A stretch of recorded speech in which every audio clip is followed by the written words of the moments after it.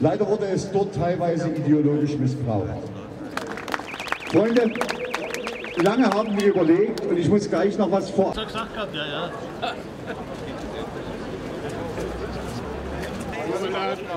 Komm mal hin. Wir bleiben noch einen Moment stehen. Gehen nachher mit dem Ding darüber. Wir sind die Guten, die Antifa, das sind die Kriegstreiber. Und, die Altparteien sind Kriegstreiber. Die dummen Menschen haben die Altpartei wieder gewählt. Wie blöd muss man sein, statt die AfD zu wählen? Mit den Forderungen, Waffenlieferungen stoppen, Die Kamera ist da und in die Kamera So- schaut. so- so- nein, mein Lieber, Nein, ich, ich nein, ich wende mich an die Leute, denn ich rede nicht mit, mit Ihnen, sondern mit den Leuten, die dann das später sehen. Und den Leuten sage ich, wir sind hier in Dresden auf dem Theaterplatz für den Frieden, ohne Wenn und Aber. Und wir wünschen uns, dass bald der schmutzige Krieg in der Ukraine beendet wird.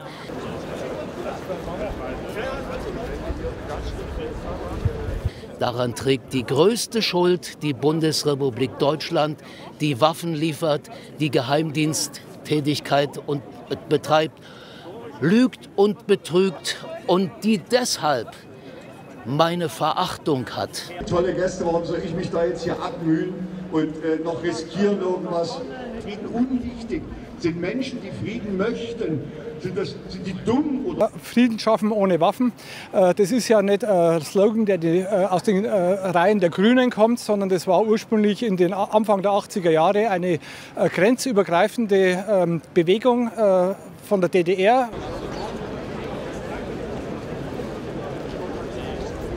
Und wir haben heute natürlich diesen Jahrestag und es geht uns äh, weder um äh, Positionierung, wer ist schuld, wer ist nicht schuld, sondern es geht darum, äh, dass äh, Krieg auf europäischem Boden einfach ähm, Unsinn ist und beendet werden soll.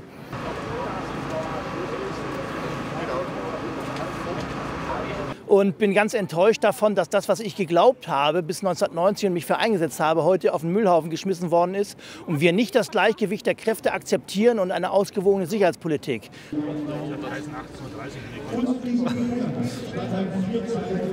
Deshalb bin ich sehr enttäuscht, dass der Krieg in der Ukraine ist und ich weiß natürlich die Hintergründe aus. Der Krieg läuft mindestens seit 2014. Ich war 2002, 2003 im Kosovo als Hauptmann. Schon da waren die Ukrainer am Rockzipfel der Amerikaner, der US-Truppen dran mit Ausrüstung und Waffen.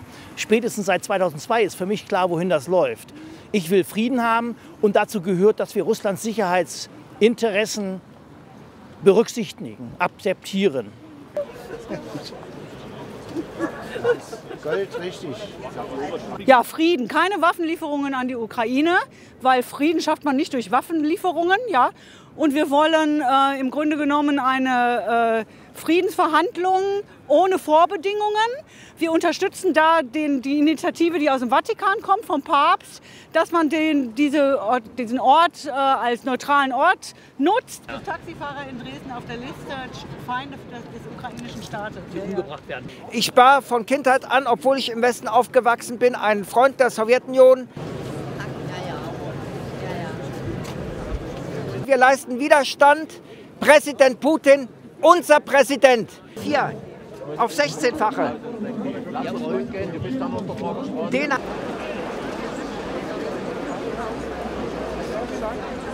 Also wir haben jetzt den Jahrestag eines fürchterlichen Krieges, der in Europa, in der Ukraine stattfindet und wahnsinnig viel Leid und viele Menschenopfer bereits gefordert hat. Und es ist daher besonders wichtig, dass von Wien über München, über Dresden heute hier am Jahrestag und morgen in Berlin eine starke europäische Friedensbewegung im Herzen Europas sich bildet, die zur Vernunft aufruft gegen Kriegs Kriegstreiberei. Alles tun will, damit ein mörderischer Krieg auch gestoppt werden kann und man auch eine Position ergreift gegen Waffenlieferungen und endlich, ich sage, die starken politischen Player, die es gibt, zur Vernunft aufruft, diesen Stellvertreterkrieg endlich am Verhandlungstisch zu lösen und eine Lösung zu finden, wo auch beide Seiten der äh, Kriegsparteien aufeinander zugehen müssen. Anders wird es nicht funktionieren.